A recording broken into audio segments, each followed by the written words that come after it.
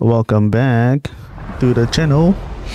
In today's video a quick test. Um, i wanted to see if you can actually get um, from start to finish with a set of soft tires in multiplayer since the game is now update in update 13 and they've set the tire um, the tire weight to X4 and I wanted to see if you can actually um, finish a whole race.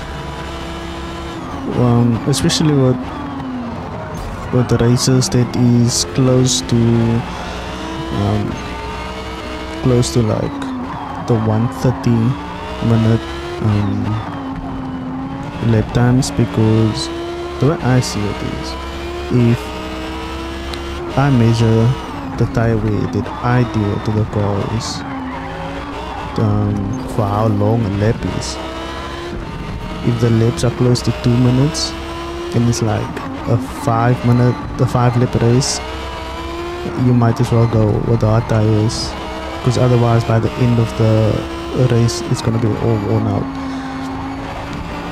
Um, if you go with medium tires you're gonna be like um, like touching the orange. Not the yellow but in the into the orange.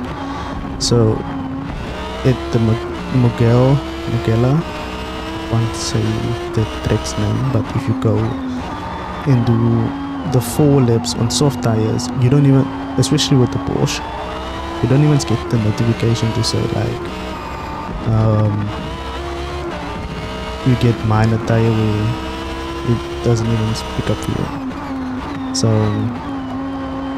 that's the one thing that made me think like oh because if you go to spa you can actually do the three laps with soft tires on spa especially with the porsche.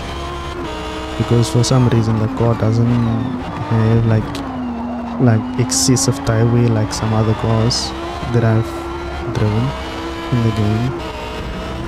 So yeah, like, comment, subscribe.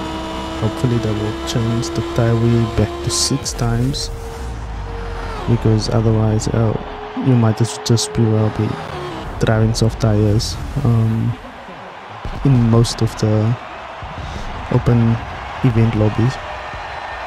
So yeah, like, comment, subscribe. See you guys with some more Forza content.